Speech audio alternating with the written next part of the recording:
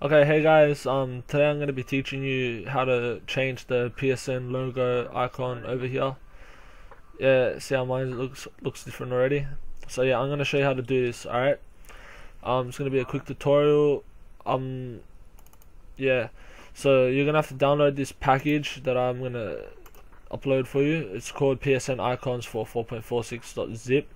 So I'm not too sure if it'll work on any firmware other than uh, 4.46 firmwares but um, I'm using this on my Rebug 4.46, so it should work for me. It already has worked for me. Um, let me know if it works for you guys on any other firmware in the comments. Just yeah, send me a message, and um, yeah. All right. So here, what you do is you open it up, and um, you see this PSN icons 4.46 package file. All you're gonna want to do is you want to copy that straight to your USB. So over here, I just drag and drop it into your USB and um, it won't ask you to move or replace it it'll just copy and paste it so then you close that um, now that it's on your USB just want to go and um, right click on it and safely remove it or eject the store and go whatever USB is called and for some reason my computer is having issues with ejecting USBs tonight so I'm just gonna pull mine out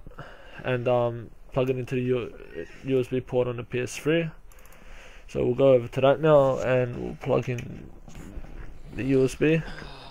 Now you want to go to package files or package manager and hit X on that it'll open up your package manager.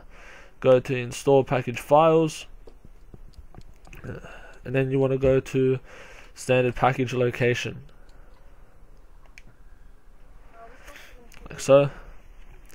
And you want to scroll down until you find the um, PSN icon package.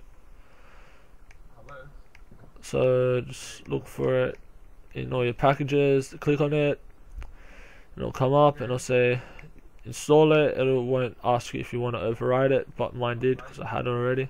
So yeah install it. It'll say install complete. Then you have this mod PSN icons installer CFW 4.46 so I'm guessing it's probably only for 4.46 but anyways we'll try it anyways. Open it up and um, you'll get a list of different icons you can choose from.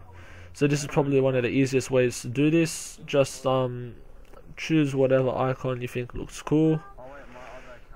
So I might try the liquid PSN icon for example. So you click on it and you go install icon and it'll ask you if you're sure you want to uh, install the liquid icon just press yes. And then it'll tell you that it's been installed with success. You want to change it just press yes and then do a hard reboot not a soft reboot so click yes again.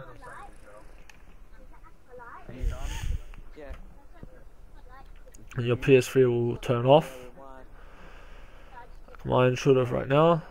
It'll come back on as well on its own.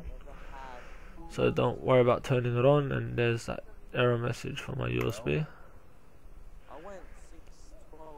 so yeah my PlayStation booted up fine no problems. It's just gonna ask me now to if I want to use the HDMI which I don't. So I'll press no.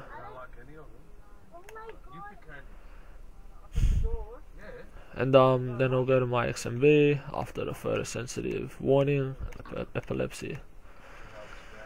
And um, log into my user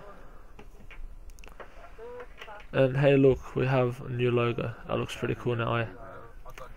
alright well um I'm I hope you guys enjoyed the video. Um make sure to rate comment and subscribe for more.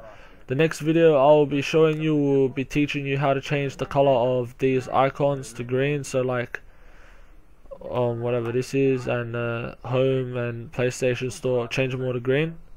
It'll look pretty sick and um yeah alright. Thanks guys. Thanks for watching. See you next video. Thanks